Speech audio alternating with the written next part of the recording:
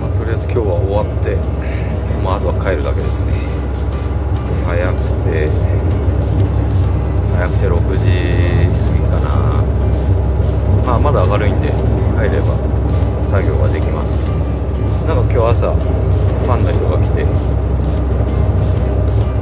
まあちょっと遊びたいんだったら、まあ、夕方来ればまあ多分いると思いますよ。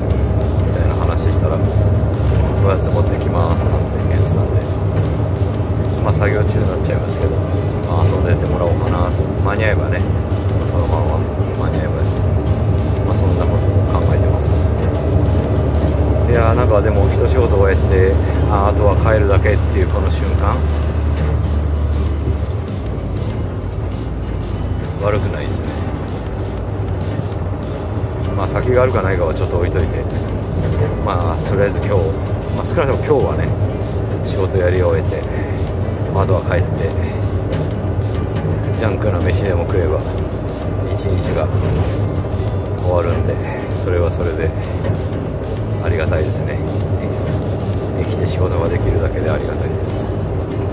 とりあえず今幕張なんで、まあ、あと1時間じゃ着かないだろうなこの感じだと。まあそんな感じで。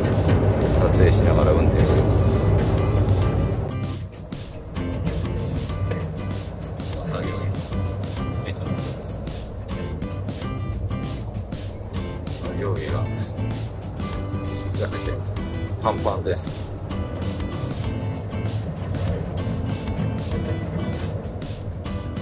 今日はちょっと帰りが遅く日も暮れて。まあおそんなに積んでないけど戻せないな。雨も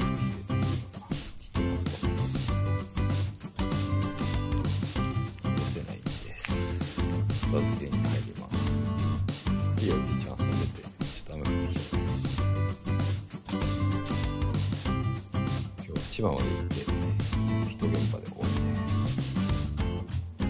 なん。かファンの人来るとか言って